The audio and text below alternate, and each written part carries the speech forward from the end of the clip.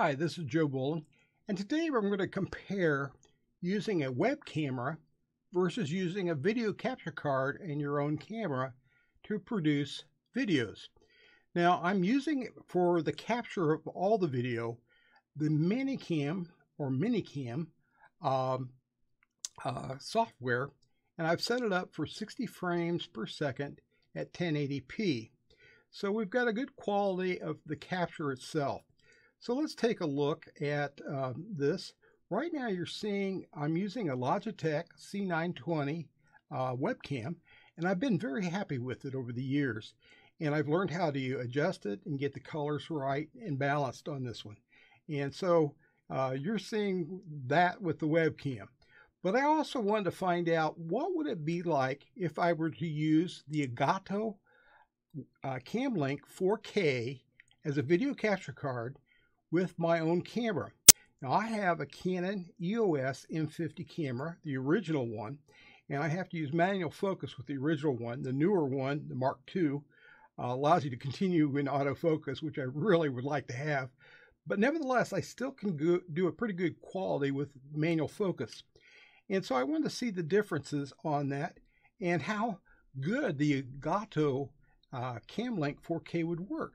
So let's take a look at that as I get my cursor onto the right spot and click on the uh, camera.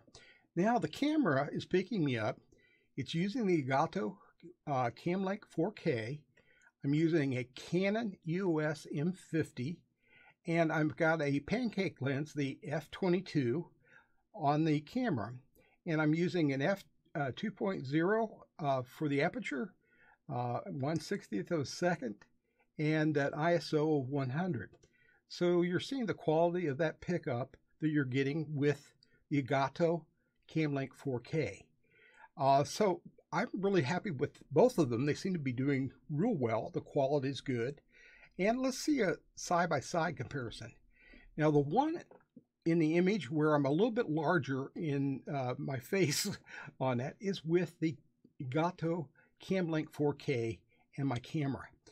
And uh, the other one, the smaller one, is with the Logitech C920.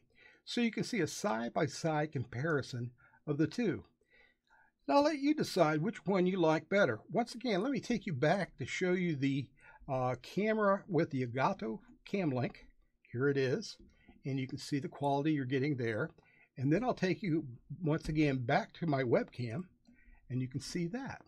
So you decide which you like better for yourself, and you may like to purchase the Elgato Camlink 4K and hook up your camera. Till then, take care. Bye-bye.